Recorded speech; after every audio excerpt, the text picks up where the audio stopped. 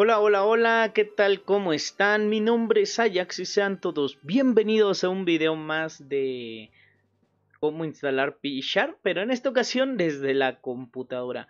Este video se los debía hace un montón, pero montón de tiempo. Porque ya me lo habían preguntado, muchos me han dicho y a muchos les he contestado cómo se instala. Pero siempre digo, voy a mostrar cómo y nunca subo nada. Entonces vamos a aprovechar que tengo ganitas. Eh, vamos a hacer lo siguiente. Vamos a ir a la página directa de ldplayer.net y vamos a descargar la versión que dice Android 5.1. O sea, te va a aparecer en grande descargar el LD Player, pero tú ignóralo, le dices, no, no, no, no, no, no, no te quiero a ti, yo quiero este que está más viejito. Versión de Android 5.1. Aquí donde yo le estoy dando es donde le debes de dar clic y nos va a mandar para descargar este archivo. Eh, si no te pone la descarga, aquí donde te aparece esto, va a decir haz clic aquí, le das clic aquí, va a empezar a descargar en automático. Un error que me pasó es que me salió como un bucle infinito a mí en un momento que me puso un anuncio como de Google. Lo único que tuve que hacer es darle clic fuera del anuncio y se cerró, porque cada que le daba tachecito me volvía a descargar el archivo, por si les llega a pasar. Ya descargado el archivo, lo único que vas a hacer es darle clic para abrirlo, nos sale este mensaje, le decimos que sí y nos va a salir lo de instalación rápida. Clip en instalación rápida nos va a decir algo de mat free, le dices rechazar y se va a empezar a descargar. Son 320 megas, así que depende de tu velocidad. En el caso mío va muy muy rapidita la descarga, entonces no pasa nada.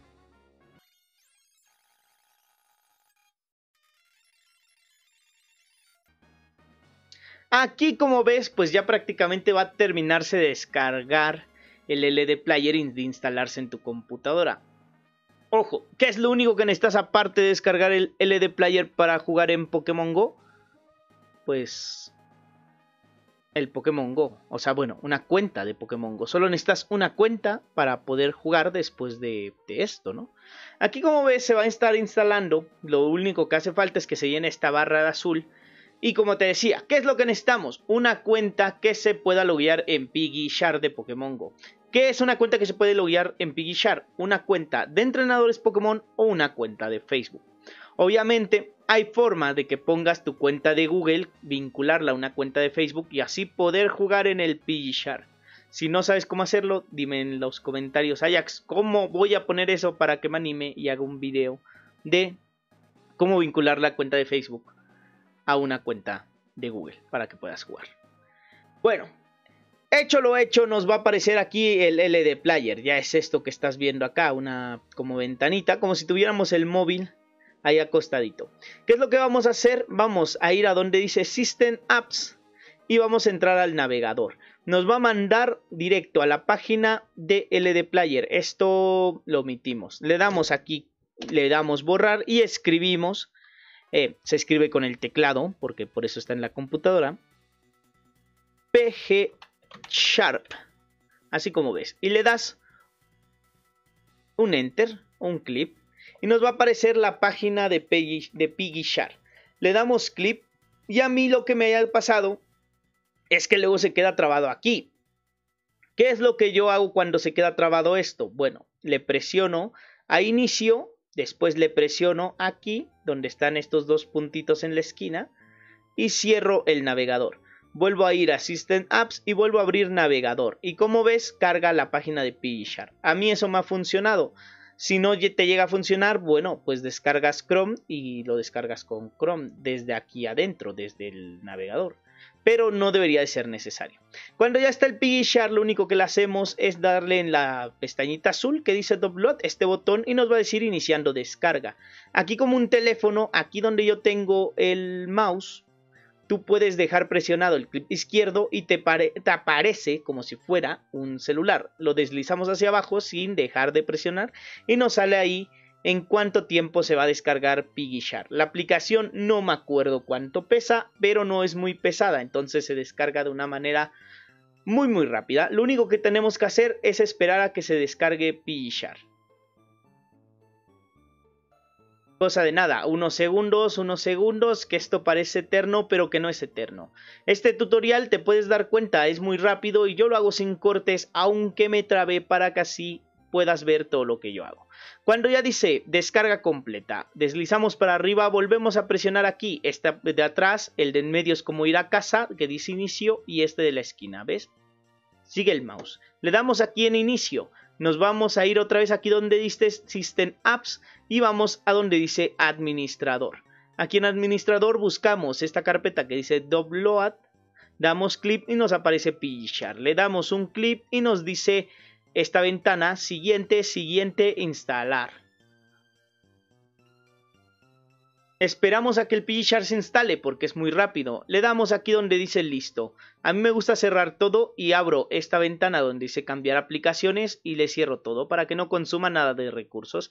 Y ahora aquí está nuestro Pokémon Go. Se ve rarito, claro que sí, pero tú le das clip y Felicidades, ya tienes el PiggyShare en tu computadora. Ahora, ¿qué es lo único que necesitas? Pues abrir una cuenta. Como lo dije antes, solo puedes loguear con cuenta de entrenadores y con cuenta de Facebook. Es muy importante que pongas una fecha de un mayor de edad. En mi caso, mi cumpleaños. Ya se empiezan a acercar las fechas. ¿eh? Ya se empiezan a acercar las fechas. Pues ahí está. Pones una fecha de alguien que sea mayor de edad, de cumpleaños, o de nacimiento de alguien mayor de edad, mejor dicho. Y con eso, cuando tú des jugador existente o jugador nuevo, te va a aparecer Facebook. Si tú le pones eh, edad como de un niño, te va a aparecer Niantic Kit, creo solamente y entonces vas a tener que desinstalarlo y volverlo a instalar. Solo el Pokémon Go, el del Pishar. Ya hecho esto, vamos con cuenta de entrenadores. Y aquí vamos a abrir una de mis multicuentas, no sé cuál de todas, esta.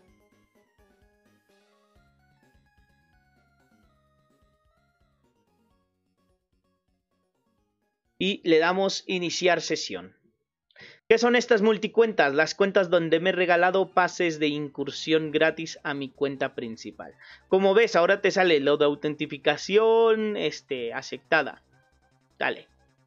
Nos va a empezar a cargar con el nuevo loguito que nos ha salido. Esto no tengo idea de qué sea, de quién, qué pueda ser lo que están simulando ahí ser. Si un monstruo, si un Pokémon. A ver qué descubrimos después. Pero bueno, ya cargándose la barrita acá que tenemos, le decimos, yo este siempre le digo no permitir. Pero ahí es opción de ustedes si quieren notificaciones de Niantic. Entonces le damos vale y como ves nos pone en un lugar del mapa tal vez inexistente. A lo mejor a ti te carga el mapa. Si te carga el mapa no te desesperes, no captures lo primero que veas. A mí me sale incluso este mensaje, no se ha podido encontrar señal. Ojo aquí, lo interesante. Le damos clip a la estrellita del Pishar y le presionamos donde dice mapa. Nos va a salir esto que dice ir orden, ta ta ta ta ta. Pero mira, acá arriba aparece como un puntito gris. Aquí le doy clip. Y al hacer eso, el mapa nos carga. No sé dónde estamos, pero en una ciudad bastante, bastante fea. Mira, vamos para atrás y aquí tal vez no encontramos nada. Puede ser. En Madrid. O tal vez sí encontremos. Pero lo importante es que presionemos aquí donde está esta estrellita. Y le damos donde dice Hot Place.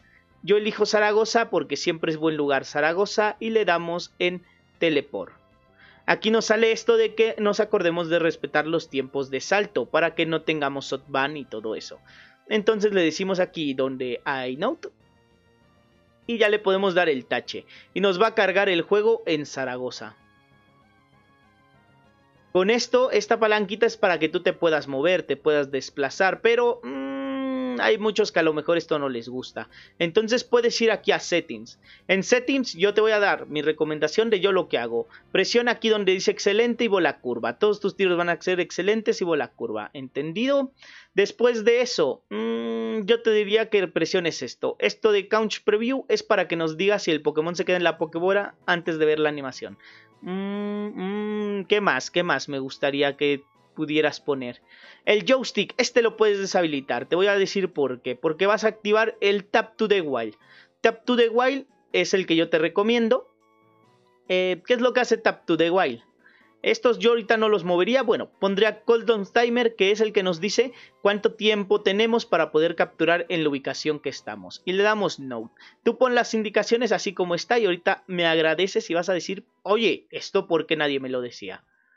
Vale, echa las notificaciones así lo primero que vas a decir, Ajax, ¿y cómo voy a caminar si me has quitado el joystick? Pues no pasa nada, dale un clip a la pantalla y tu personaje va a caminar automáticamente allá, a donde la hayamos presionado. Esto, mira, que no me gusta esto así. Vamos para acá. Ahí está. Estaban viendo la cancioncita del Soundstrap, la que sonaba. Esperamos aquí a que salga esto. ¿Qué es esto? No me gusta esto. Vamos a darle hacia atrás para que se vea más bonito. Aquí está. Vale. Como ves, puedo ya presionar el rock and roll a más tarde. Siempre más tarde y ya está. Como tenemos en el cronómetro cero, es que tenemos el tiempo exacto para poder estar capturando aquí donde estamos. O tenemos tiempo de salto y podemos jugar aquí donde estamos. Si tú aquí te dice 2 horas 59 minutos o 1 hora 50 o no sé cuánto te diga, no lo sé. Pero todo lo que te diga aquí es el tiempo que tienes que esperar sin atrapar Pokémon, sin girar Poképaradas, sin aventar Pokébolas para poder capturar los Pokémon de la zona. Entonces, ya con eso tú puedes darle. Como ves, todos mis tiros son excelentes y aquí dice couch. Eso o couch, eso es de que está capturado. Si te dice LED, es que se fue y no me acuerdo cómo dice cuando el Pokémon se sale de la Pokébola, pero tienes que volverle a tirar. O sea, El tutorial es así de sencillo, ya esto es como explicarte un poquito de cómo funciona lo poco que te he puesto. Pues al darle ahí con esa opción que te he dicho, o sea, tú presionas clip en la pantalla a donde tú te quieras mover, ¿no? Yo quiero ir hasta allá y como ves el personaje va a empezar a caminar. Tú me puedes decir, Ajax, pero va bien lento, yo no quiero que vaya tan lento. Pues mira, sacamos aquí la opción de la estrella y le das clip aquí y lo pones a 18.6. Obviamente lo puedes poner que camine todavía mucho más rápido, pero el perfecto para abrir huevitos es este 9.3. Si vas a distancias cortas, si le pones 18.6, tampoco te falla en nada, ¿eh? O sea, tampoco falla en nada. Lo puedes poner así, le puedes dar esto y ya está. Puedes ir capturando mientras sigue caminando el personaje en la pantalla tapada ya está, como ves lanzo Pokébola, me dice capturado y ya está. ¿Puedes hacer truco de captura rápida? Claro que sí, pero no sé cómo lo podrías hacer porque recuerda que eso se hace con dos dedos. Entonces, a lo mejor la única desventaja que yo le veo aquí es esa, que vas a tener que ver todas las animaciones de captura. Obviamente, si tienes la versión de paga de P-Shard, la omites. Eso con la opción, la versión de paga de P-Shard, activa todas estas que están en gris. La versión de paga de P-Share te activa esta opción que se llama Quick Cash, que hace el truco de captura rápida para que no tengas que ver a los Pokémon em, con si se quedan en la Pokébola o no se quedan. O sea, tú avientas la Pokébola e inmediatamente, así como la avientas aquí, desaparece y ya te saca a seguir jugando. Pues bueno, pues yo creo que no se hacen mucho lío, ¿no? Que no te vas a hacer como bolas, tipo como yo cuando hablo, que no te vas a enredar en el juego. Pues así se juega con el P-Share en la computadora. Obviamente esto, si tu celular a lo mejor no alcanza a correr bien Pokémon Go y tu computadora sí, pues vas a preferir jugar en la computadora. Si, no sé, esto yo lo veo porque esta idea de subir ya el tutorial de P-Share me vino porque hoy en la madrugada he visto un niño español jugando con P-Share desde su PC.